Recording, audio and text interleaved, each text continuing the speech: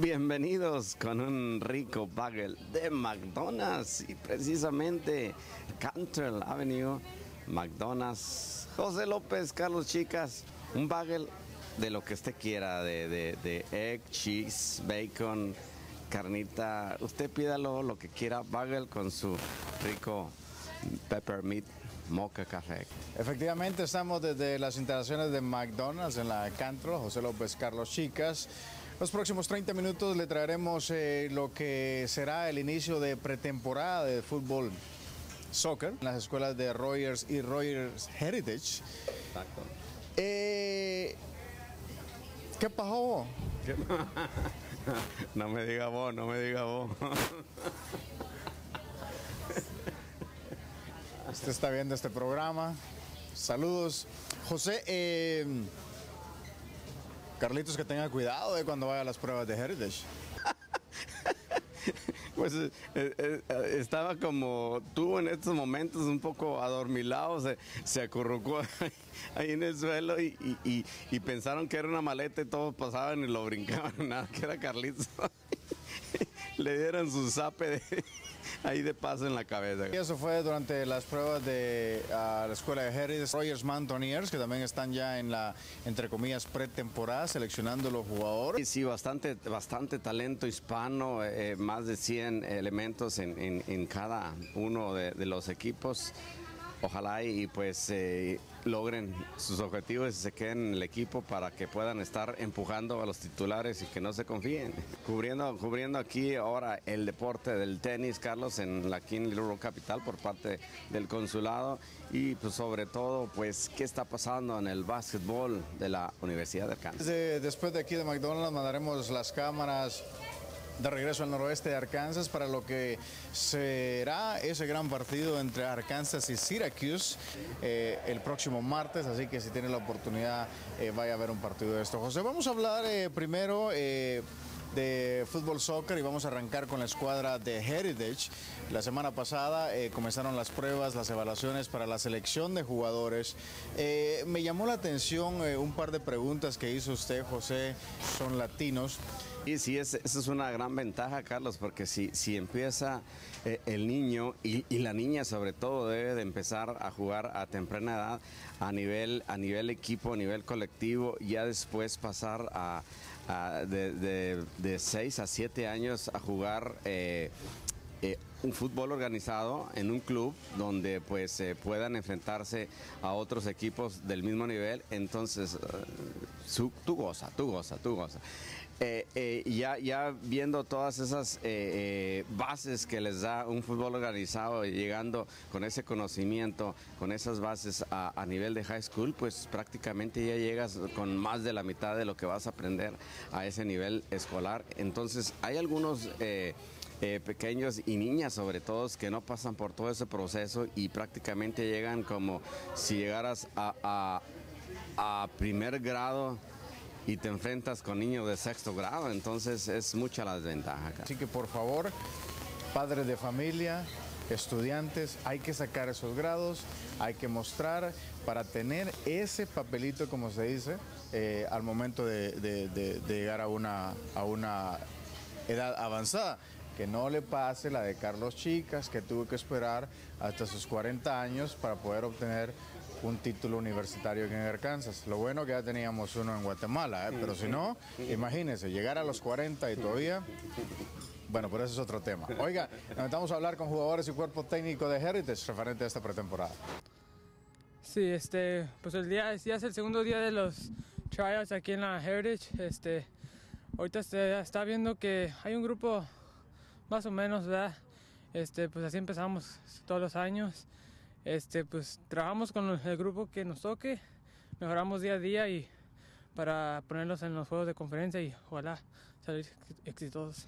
Este, la verdad, es, la competencia siempre va a estar. Este, pues ya uno que empieza de joven este, con los más grandes va aprendiendo. Este, por ejemplo, los sophomores, los juniors son la base ahorita del equipo porque ellos todavía les toca un año más juntos. O sea, está- es- influye mucho y para lo positivo también. No, es mucha ventaja. Este, por ejemplo, no nomás jugando en la prepa, sino también en el fútbol afuera como traveling soccer, pues. este, la competencia allá en jugando traveling es, es más, el nivel es más alto y uno lo pone aquí en la high school y sale hasta más exitoso aquí. Este, pues primero, este, a ver, saliendo aquí los tryouts, mirando la lista, ya este, ir preparándonos día a día, echándole ganas todos, este, juntos, hablándonos, comunicándonos bien, teniendo buenas relaciones y nomás a día a día echándole ganas para que seamos exitosos. Este, también los que no tienen los grados, pues, lamentablemente hay, hay muchos, ¿verdad? Y con mucho talento, pero los grados son los que los dejan. start a new season. We had over 100 people sign up for soccer to come out, uh, which is just record numbers for Heritage High School. Um, so for the boys, we had over 100. For the girls, we had over 84 sign up. Um, what else could you ask for? We have a talent pool to choose from, and we should be dangerous this year from that. Sí, hoy empezamos, son las pruebas y dentro de un mes y medio empezamos a entrenar bien como equipo. Sí, es mucha competencia y con, hasta habiendo más personas te da más ganas de jugar. y echarle más ganas para estar en el equipo. No, yo he, he, jugado desde que tenía tres años. ¿Es ventaja eso? Sí, mucha ventaja. Aprendes mucho y vas, vas aprendiendo más. Sí, sigues, sigues, te siguen enseñando cosas y sigues aprendiendo. Uh, esperamos ganar, hacer bien todos los juegos, pasar mejor, comunicarnos mejor, ser mejor equipo que el año pasado. the most difficult part about being a coach in this situation is we're going to probably have to cut people that can start for other teams' varsities, and that that is that is a huge decision. Um, we don't like doing it, but unfortunately, we're faced uh, faced to do that. We'll probably keep 50 of the um, of the bodies. Pues cada quien tiene que pelear, por supuesto, y si no tenemos a alguien más para reemplazarlos pues queremos ir lejos en state y queremos mejorar. ¿Y cómo, cómo mejorar eso que hicieron el año pasado? Pues en la práctica tenemos que ser mejor y tocar como equipo el balón. ¿Tu posición cuál que um, medio. Suerte en la temporada. Oh, gracias. Uh, at Heritage, soccer is an actual class. So starting in January, they actually get a grade for uh, for participation. It's a it's a physical education credit. So we have to have tryouts so the counselors can get them into the classes and get the schedules arranged. Um, so once January seventh, our first day back after Christmas starts, it it's a class. We're we're full full bore going. Ahí está. Todos los chicos de Heritage, eh, pues en su mm. tryout y que se queden mm. para que sigan empujando a los titulares y que trabajen horas extras para mantener su puesto. Nosotros vamos a hacer una pequeñita pausa y volvemos. No le cambie.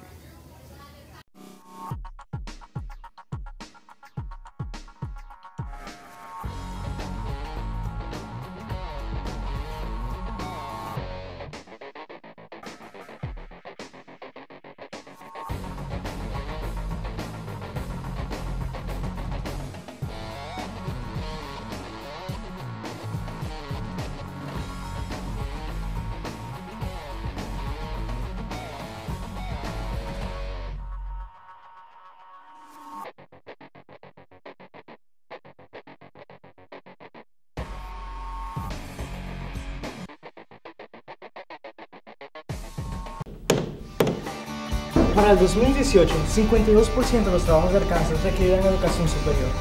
Para el 2018 se crearán 86.000 trabajos que requerirán educación superior preparatoria. 26% de los adultos en Arkansas entre las edades de 25 a 34 años tienen una carrera universitaria. ¿Es suficiente 26%? Dos años de educación superior le abrirá más oportunidades de trabajo. ¿Qué carrera escogerá? La velocidad de que el señor López disfruta su cafecito de peppermint acompañado con el Bego. Pasamos a la MLS. David Beckham, último partido con Los Ángeles Galaxy, ahí en la práctica con sonrisas. Y lo que me gusta de este jugador, José, aún con su edad, eh, al frente del grupo. Sí, al frente del grupo y distinguiéndose ahí con la gorrita Carlos poniendo la pauta para entrenar y estar listo para este gran partido que pues ya se avecinaba. Sí, un gran partido que marcaba prácticamente el despido de este jugador José y qué mejor haciéndolo de la manera con que Los Ángeles Galaxy eh, prácticamente se enfrentaría a este Houston al minuto 44, o mejor dicho, a los 44 minutos del partido. Adam Moffat desde su propio campo eh, levantó la cabeza y vio a Calen Carr que por el centro, o mejor dicho, por la banda derecha, eh, pondría el 1 a 0 y así ponía a temblar a unos Ángeles Galaxy que trataría de responder eh, de inmediato, puesto que jugando a estadio lleno no se podía dar el lujo de perder esta gran final. Así es, y ya casi pues al minuto 60 viene en un niño levantando un centro buscando al jugador más valioso de la Copa MLS 2012, Omar González, en el palo puesto, quien con marca encima cabeció cruzando la pelota a Hal para empatar al 1-1 y era la locura en el estadio porque así revivía el Galaxy ahí en su propia casa y crecían las esperanzas ya con el partido emparejado pues eh, era otro el panorama y seguía presionando el Galaxy viniendo de atrás pues de la mano del Donovan y pues del mismo Beckham. Claro y, esta jugada es clara José de que los defensas centrales se pueden incorporar al ataque y de esa manera fue que González eh, logró empatar eh, el, en este caso el partido, pero vendría eh, el 2 a 1, José, un 2 a 1 que eh, venía, iniciaba prácticamente González una vez más, luego le quedaría la pelota a, Aquina y después de una serie de rebotes la pelota pues tocó la mano de uno de los defensas y vendría el penal para poner el 2 a 1, un penal que pues ya, ya prácticamente sellaba todo para Los Ángeles Galaxy. Sí, aquí parece creo que alcancé hasta ver como dos manos en la misma jugada, pero muy muy bien ahí Donovan pues viene y pues adelanta al Galaxy 2 a 1 y pues la locura sigue creciendo y eso no terminaba, pues ya casi eh, al finalizar el partido pues venía el 3 a 1 también por la vía penal. ¿Por qué no haría eh, en este caso el segundo, el primer penal David Beckham, eh, y se lo dejaría a Landon, Landon Donovan? Una muy buena pregunta que se la dejamos para que usted lo analice. Luego vendría eh, tres minutos después, José, eh, no tres minutos después, pero mejor dicho, vendría el, el penal definitivo, un contragolpe, sale el portero y casi lo deja sin algo muy importante al delantero y vendría eh, el, último penal que vendría a cobrar el mismo Kine para poner ese 3 a, 3 a 1 definitivo y posteriormente pues eh, con ese gol vendría la, la, celebración y la levantada de la, de la orejona. Así es, la celebración en todo lo alto ahí, pues los angelinos disfrutando junto con Beckham una gran despedida, pues ¿qué, qué más quiere?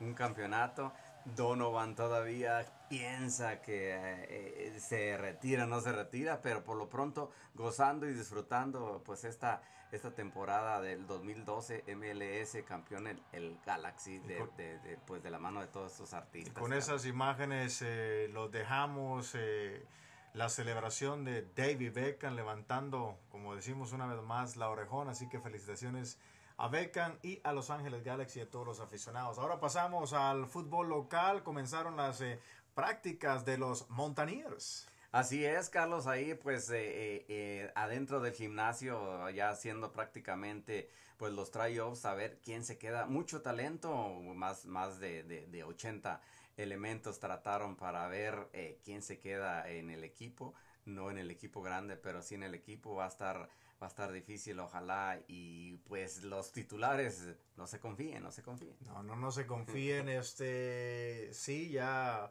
la selección de los jugadores prácticamente ya se hizo. Eh, algo muy importante tal vez eh, para la escuadra de, de es que tienen a un entrenador de porteros, a, Alfredo, que en más de una ocasión ha sido bautizado por la zurda de Carlos Chicas, la última vez en la final de la Liga de Veteranos. Nos sentamos a hablar con jugadores y cuerpo técnico de las pruebas. Estamos desde las instalaciones de la escuadra de los Mountaineers para lo que serán las pruebas abiertas. El equipo pues tiene muchas expectativas este año y una de ellas es eh, tratar de derrotar al campeón actual, Sprindle. Hoy estamos hablando con uno de los integrantes. Um, yeah, there's always a difference every year. I mean, you always have your seniors leaving that you miss and then that new freshman coming in, bringing to the mix of the team. But other than that, yeah, trials are kind of the same. Just really test who really has it still, who lost it. And bueno, sabe, este, este año de, los, de las chicas tuvimos 68 chicas que, que trataron para el equipo. Y eso creo que es lo máximo que hemos tenido en los últimos 10 años. La calidad, veremos. Ah, recién empezamos. veremos. El año pasado tuvimos un año buenísimo con, con jugadores que habían jugado en, un- en clubs, así que tenían ah, mucha experiencia. Este año teníamos más chicas que están tratando, pero a la misma vez no tenían esa experiencia de club, del club jugando en clubs. Así que veremos. Da- pregúntame en, en dos meses a ver cómo estamos y cómo están las chicas. Tenemos mucho talento porque Coach Peck, como te dijo más temprano, ahí tuvo como cuatro tryouts nomás para ellos solamente. Y luego para los seniors y los juniors, muchos um, jugadores que están regresando del año pasado. Tenemos un buen, buen equipo este año. Um, um, este año todavía no, no sé porque apenas acabamos de comenzar, so tenemos que esperar un rato a ver qué pasa. Pero el otro año no estábamos tan fuerte, pero ahora que tenemos muchos seniors, este año a lo mejor podemos hacer, hacer llegar más lejos que pasado año. uh, talent this year was really good, really high. Um, probably some of the best I've seen in a few years, especially the younger guys. I actually had to try out with the freshmen four times before I finally uh, got down to the numbers I wanted freshmen and sophomores. Bueno, para mí es el desarrollo, pero con eso también, ojalá que el desarrollo lo- nos lleve a las victorias, Ah, porque usted sabe, si no ganamos de vez en cuando, no, no- agarran a otros entrenadores y esa es la realidad de las cosas. Hay que, hay que desarrollar a las, a las, chu- a las jugadores y a la misma vez, ojalá que al final salgan un poquito la- la- de las victorias. It's it's a real honor. Um, actually, it's a dream come true. Uh, growing like growing up and going through this program, I know where we can be and where we should be. Igualmente a los chicos ahí, los montañistas de Royes, pues todas las, las, las suertes y que se queden los que se tengan que quedar. Nosotros vamos a hacer una breve pausa y al regresar ya vamos a estar directos ahí en el Blue Walton Arena siguiendo el básquetbol colegial de la Universidad de Arkansas. Volvemos.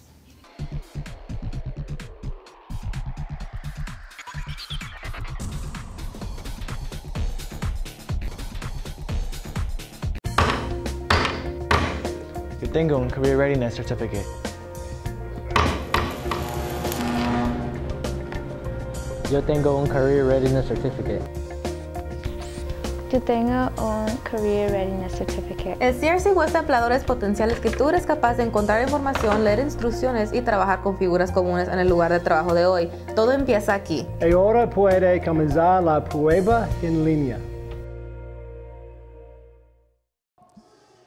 Bienvenidos al último segmento de Razorbacks en español, ya instalados desde la Arena Bad Walton en Ciudad Universitaria.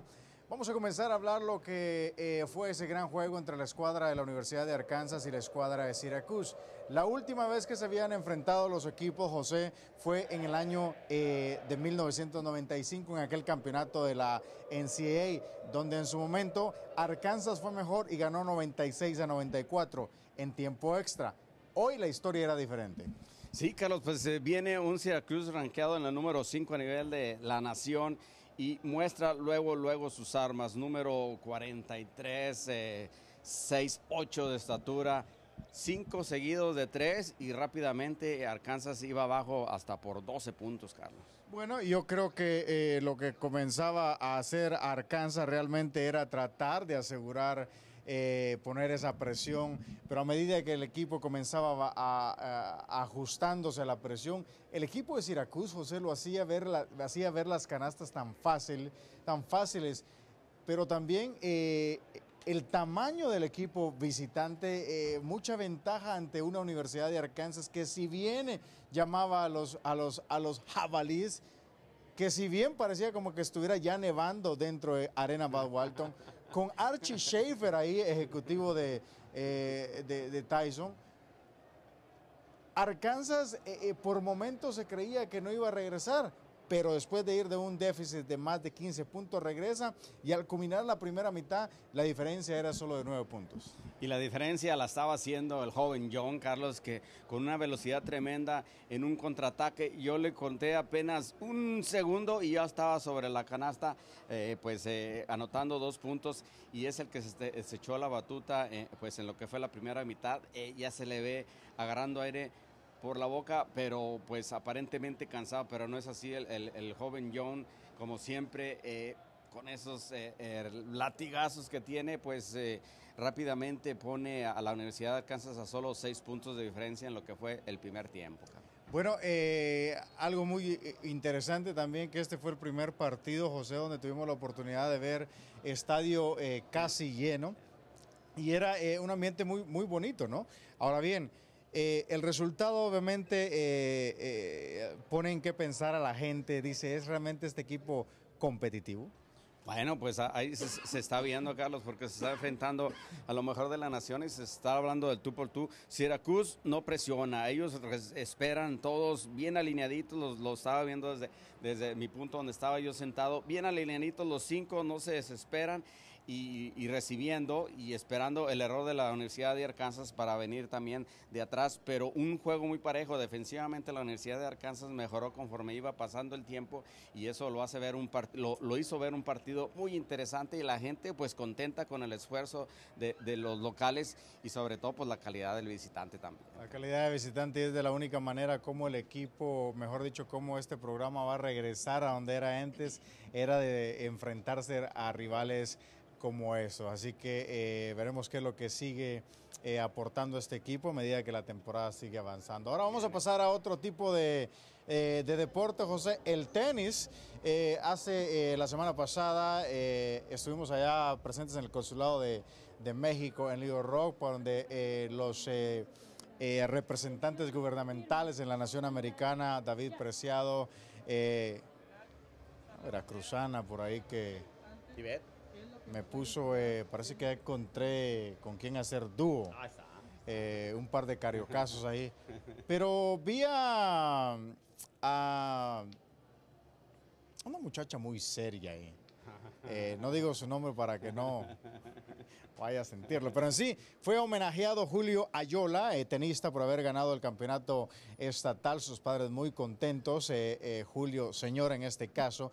Eh, y qué bien, ¿no? Porque ese es, eh, yo creo que es un reconocimiento que se eh, lo tiene que celebrar no solo la comunidad mexicana, pero también el deportista local.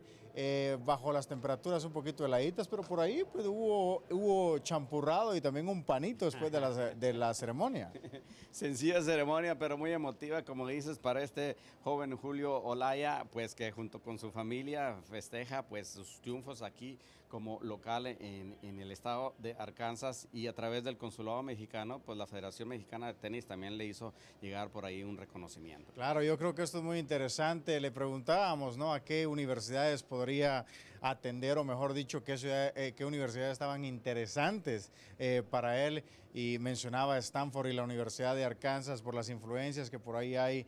eh, Arkansas podría tener la oportunidad de que, mantener o reclutar a este jugador.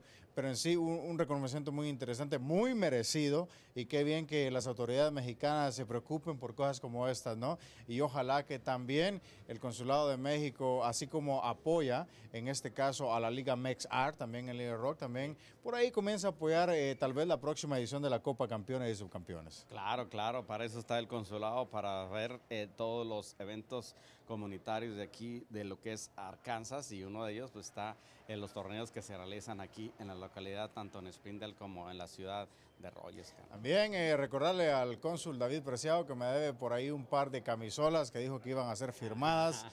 Eh, así que, cónsul, por favor, esas camisolas tienen que ser llegadas aquí a, a Univisión Arkansas. Bueno, nosotros nos sentamos a hablar eh, con Julio, eh, también nos sentamos a hablar con David referente a- a- al homenaje que se le hizo y nos dicen en sus propias palabras cómo se siente eh, tanto el jugador como eh, los representantes del gobierno eh, mexicano aquí eh, en Arkansas. Pues duró 10 años. Llevo jugando tenis desde los 8 y fue un, fue un viaje muy largo.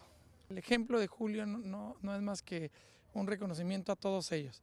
Julio finalmente ganó el torneo estatal. A mí me gustaría jugar tenis colegial y, y jugar en el equipo, ser uno, el 1 o el 2, jugar singles por un equipo bueno de tenis. Todavía no decido dónde, pero es mi sueño. ¿Alguna en específica? Eh, Sanford University en Alabama, la Universidad de Arkansas en Fayetteville y este, Williams College en Massachusetts. Si hoy fuera la decisión, ¿por cuál optaría ir?